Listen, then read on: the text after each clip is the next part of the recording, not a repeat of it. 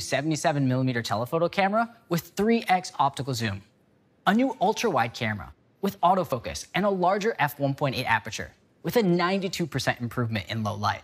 and a new wide camera that has a larger f1.5 aperture and 1.9 micron pixels.